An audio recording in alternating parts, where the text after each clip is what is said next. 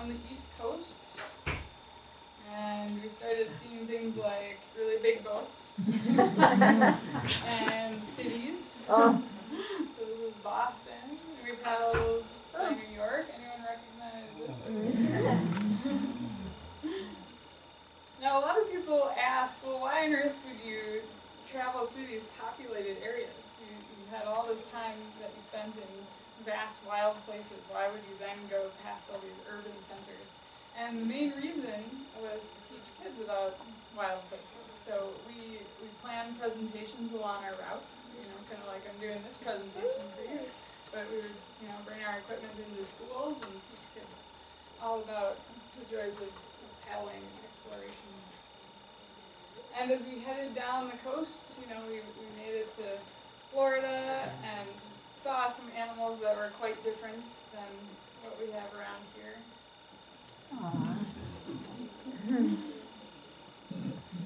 This was on the Swanee River. The manatees like to hang out. This was kind of winter time, so they like to hang out in the warm uh, springs there. Did you go down there to the Universal Waterway or not?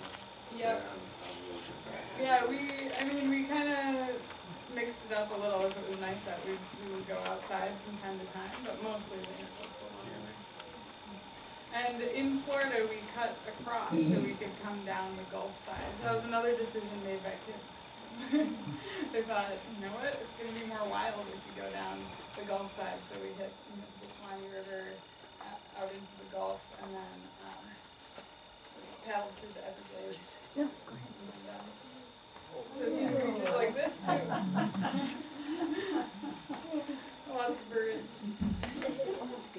So one paddling past all these kind of urban areas, it made us realize that there still are pockets of nature. You know, like you can still, even if you are living in a city, like you can kind of escape a little bit, not have to go too far necessarily to see things like this.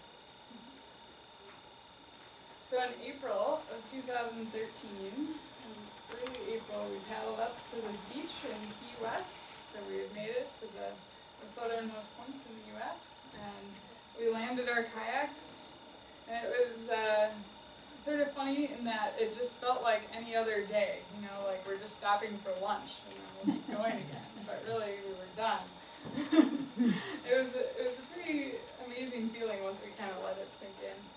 Um, and there were probably a couple hundred people on the beach, but none of them knew who we were. They were just there sunbathing.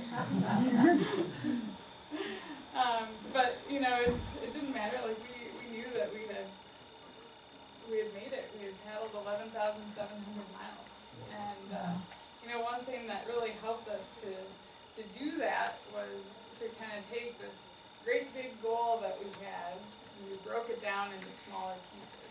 So, you know, we had all those different stages throughout the trip, but then also, you know, sometimes we just had to focus on paddling the next mile. Like the going was really hard, I'm going to set this goal of paddling for 15 minutes, then I'm going to take a break.